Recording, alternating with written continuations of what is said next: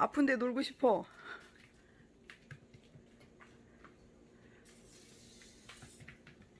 어떡해.